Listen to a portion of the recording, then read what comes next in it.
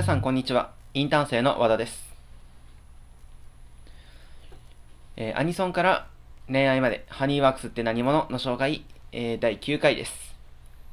えー今までは、えーハニーワークスとして出した曲や、えーチコイズハニーワークスとして出した曲など、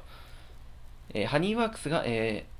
ー表立って名前を出している楽曲をご紹介してきましたが、えー今回は一風変わった、えーハニーワークスの楽曲をご紹介したいと思います。えこれまでの楽曲は、えボーカロイドの曲を声優さんがカバーしたり、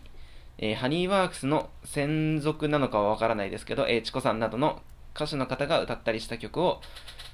えご紹介していたのですが、え今回紹介する曲は、え今回紹介する曲たちは、えーリップリップというユニットの曲たちです。えーこのユニットの曲は、えーハニーワークスが提供してはいるのですが、えーリップリップ、 featuring HoneyWorks のように、えーハニーワークスの名前が表立って出ていることはありません。なので、えー少し特殊な、えーハニーワークスの楽曲提供の形ではないかと思います。えそんなリップリップの楽曲の1曲目は、えーロメオという曲です。えこの曲は、このリップリップというユニットが、えデビューした曲でもあります。えー物語は、えーロミオとジュリエットをモチーフとした、えーファンタジーの曲です。一国の姫を、えー自国の王妃にしようと求婚する、えー東西の王子の物語の曲です。心地よいテンポの、えー曲スピード、えー楽しい合いの手が面白い曲です。ぜひご視聴ください。えー次の紹介曲は、えーやっぱ最強という曲です。えーこの曲、えーこちらの曲は、えー2019年の、えー商業高校フードグランプリのテーマソングです。えー青春が詰まった、えー高校生の行事、え本気で臨むことでいい思い出になる、そんな心情を、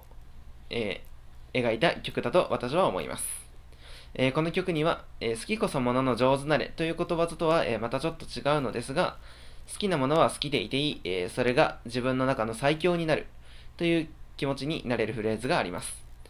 えそして何より、えアップテンポです。はい、えーテンションを上げるのにも効果的な曲なのではないでしょうか。え最後に紹介する曲は、えチョコカノという曲です。えこの曲はバレンタインの時期の男子の淡い期待、テンションの上下を、えチョコレートに例えた曲です、えバレンタインの時期に気になる女の子がいた男子なら一度は経験があるのではないでしょうか。え期待するだけ無駄と分かってはいる、無駄だと、えー分かってはいるのですが、それでも、えー期待は捨てきれない。男心を心底表現できている曲だと思います。さて、えー今回の紹介は少し短いのですが、ここら辺で紹介を終わりたいと思います。えー他にもリップリップの曲はたくさんあるので、えー実はこのリップリップアルバムを出していて、どっちのキスか選べよというアルバムを出しています。この曲には、えーリップリップとしての楽曲しか入っていないので、えーぜひ皆さんご視聴ください。えーこの動画がいいと思ったら、この動画が気に入ったら、えーチャンネル登録と高評価をよろしくお願いします。